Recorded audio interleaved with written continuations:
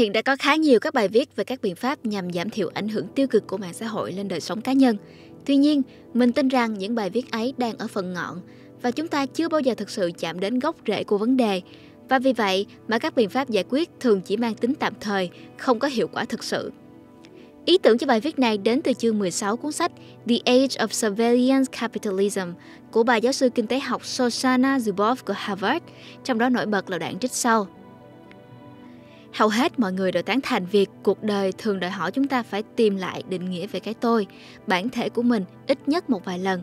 Nhưng quan trọng hơn là những nhà nghiên cứu tâm lý học cho rằng việc có thể trưởng thành về tâm lý ít nhiều bắt buộc phải phụ thuộc vào khả năng giải quyết những vấn đề liên quan đến cái tôi cá nhân như một bước cơ bản để tiến đến con người trưởng thành. Như một nhà nghiên cứu đã viết, mỗi thách thức căn bản cho quá trình trưởng thành là trở thành chủ nhân của cuộc đời mình khi đọc những dòng này, mình có cảm giác đây mới chính là trọng tâm vấn đề.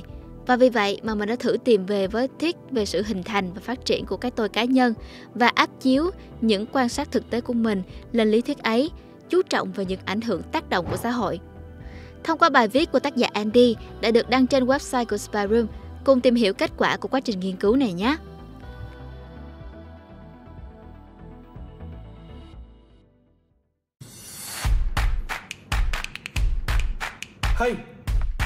Bọn mình vừa mới có một thứ mới, đó là Mở tính năng membership, các bạn tham gia chưa? Đăng ký hội viên cùng Spy Room về đội chúng mình để nhận được vô số những quyền lợi đặc biệt các bạn nhé. Học thuyết phát triển cái tôi cá nhân The Constructive Developmental Theory của Robert Kagan Một cách ngắn gọn, học thuyết chỉ ra bốn bước của một quá trình phát triển cái tôi cá nhân, tức self. Bước thứ nhất, self-sovereign mind. Thứ hai, Socialized Mind, thứ ba Self-Authoring Mind và thứ tư Self-Transforming Mind. Ở giai đoạn đầu, tức Self-Sovereign Mind, thường đến trước độ tuổi teen. Ví dụ điển hình mà Robert hay dùng là một đứa trẻ tầm 9-10 tuổi, nếu phải chọn lựa, nó sẽ sẵn sàng đổi bố mẹ của nó, lấy một chai coca hay một que kem khi trời nóng. Tức là ở mức độ trưởng thành thấp nhất thì đối với cái tôi cá nhân, không gì quan trọng hơn là những nhu cầu và sở thích của chính bản thân nó.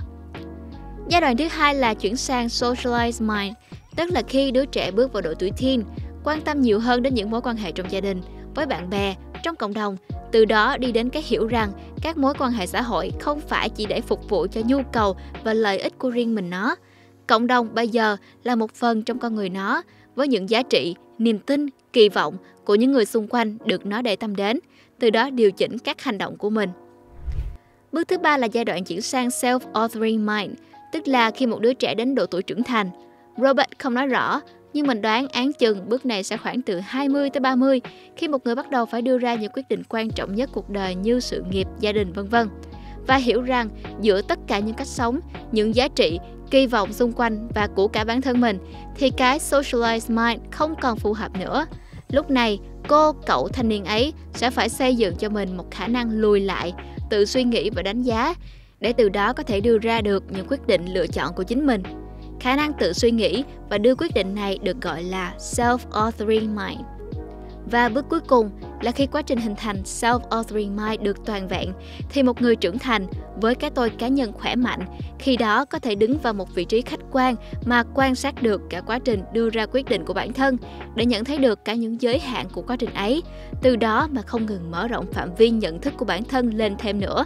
Cái này là self-transforming mind và nó sẽ tiếp diễn đến cuối cuộc đời. Tác động của mạng xã hội. Vậy, ảnh hưởng của mạng xã hội nằm ở đâu?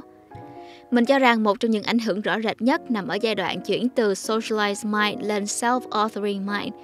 Sự chuyển giao này cần một điều kiện tiên quyết mà Robert Kagan nhắc đi nhắc lại, đó là the ability to step back, tức là khả năng có thể lùi lại và tự suy nghĩ, cân nhắc, suy xét vấn đề hay thậm chí thực hành phản tư.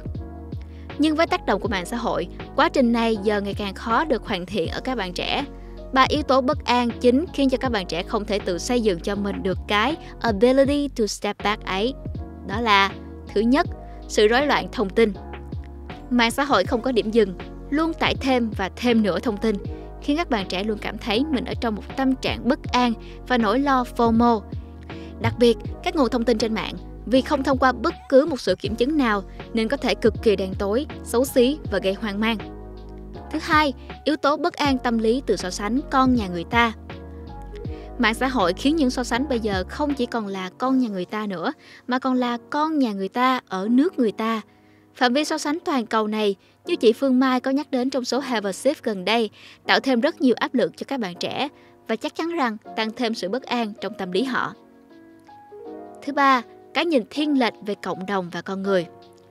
Nhưng theo mình, ảnh hưởng lớn hơn của mạng xã hội thực ra nằm ở các cộng đồng mà bạn đang có. Vì để có thể lùi lại và thực hiện các suy xét trong sự chuyển giao giữa socialized mind với self-authoring mind, bạn cần phải thực sự là một phần của các cộng đồng xung quanh bạn một cách trọn vẹn. Tức là bạn phải sinh hoạt cùng các cộng đồng ấy, giao tiếp thường xuyên để có một cái nhìn toàn vẹn về những người xung quanh. Cái này nói thì hơi khó, nhưng chắc mọi người đều hiểu khi ở gần một con người hoàn chỉnh, tiềm thức, tức subconscious mind của bạn sẽ tiếp nhận một lượng thông tin lớn hơn nhiều so với lý trí, tức conscious mind của bạn.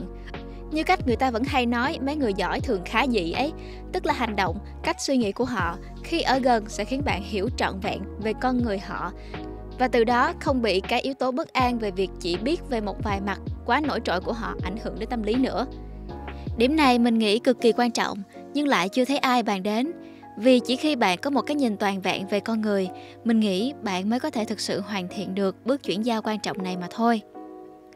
Phần 3. Gợi ý giải pháp Như đã nói ở đầu bài, có quá nhiều bài viết về cách giảm thiểu tác hại của mạng xã hội rồi. Ở đây, mình chỉ xin đưa ra ba gợi ý mà mình nghĩ là quyết liệt hơn nhưng cần thiết. Còn mọi người tự cân nhắc, đánh giá và áp dụng cho bản thân nhé. Về cộng đồng, cần cấm trẻ dưới 14 hoặc dưới 16 tuổi dùng mạng xã hội. Cái này thật ra không nằm ở quyền quyết định của cá nhân, nhưng nếu không thể cải thiện tình hình thì mình nghĩ cần đưa ra biện pháp này và bàn bạc với các cấp.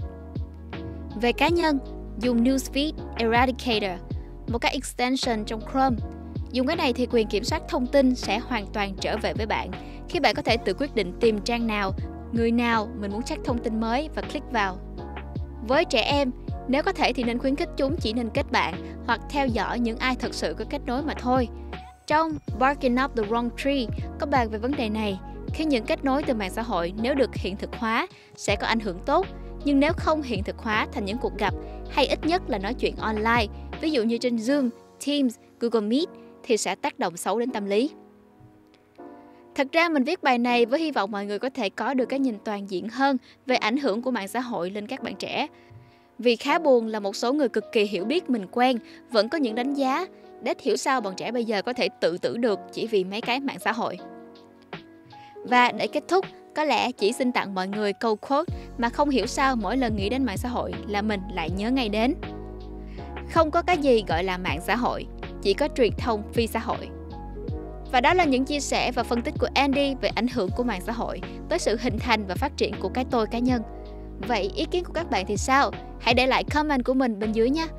Cũng đừng quên like và subscribe cho kênh Spy Room để đón nhận nhiều nội dung thú vị khác trong tương lai. Xin chào và hẹn gặp lại các bạn trong những nội dung tiếp theo nha. Mình là Nguyễn Lê Minh Thi.